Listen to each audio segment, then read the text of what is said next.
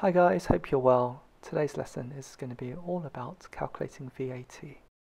Let's start with some starter questions. Again, please feel free at this moment to pause the lesson and just make an attempt at these two questions. Let's go over the answer to question number one. We're going to increase £52 by 20%. So the first thing that we're going to do is find 20% of 52 pounds. We do this by saying that 20% is the same as 20 divided by 100 and this of is the same as times.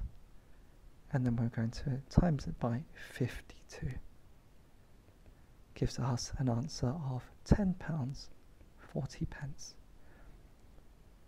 Remember we're increasing we're increasing uh, 52 pounds by 20% so we're going to take our amount of money 52 the original amount we're going to add on the equivalent of 20% which is your 10 pounds 40 gives us an answer of 62 pounds 40 pence.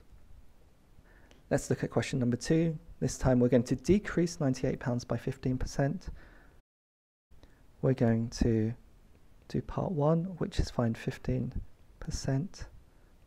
of 98 pounds.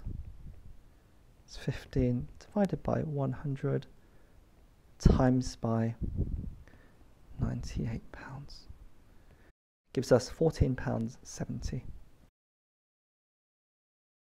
for part two we're going to take the original amount of money 98 pounds and this time we're decreasing it by 15% so we're going to subtract. And we're going to subtract the £14.70 which gives us £83.30 and remember when we're dealing with money always make sure your answer is to two decimal places Please make sure that you write down the title for today's lesson in your jotters. So that's finding total price, including VAT. The learning intention is going to be learning about calculating the value added tax or the VAT of a price. And the success criteria for today is that I can calculate the percentage of a number and I can find the VAT by increasing the price by 20%. Now, let's look at some examples where VAT is charged at 20%. So for question number one, a TV is priced at £300 plus VAT what is the total cost of the TV including VAT. So it's the same as increasing the cost of the TV by the value of VAT, which is 20%.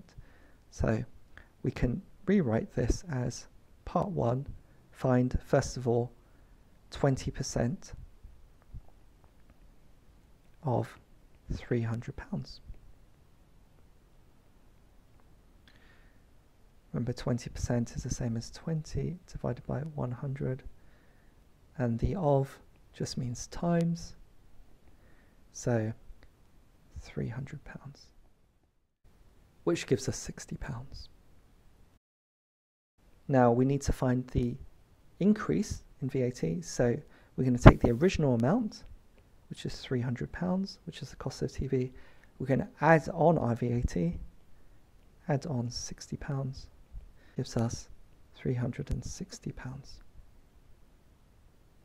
And now I'm going to suggest that you pause the video and have a go at question number two by yourselves.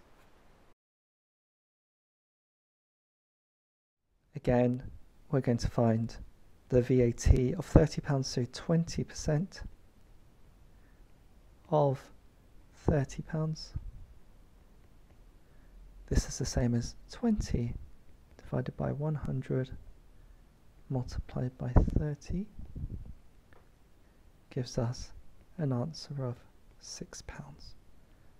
Part 2 we're going to find out the total cost which is taking the original cost of the lamp £30 adding on VAT which is £6 adding these two together which you can do in your calculator gives us an answer of £36.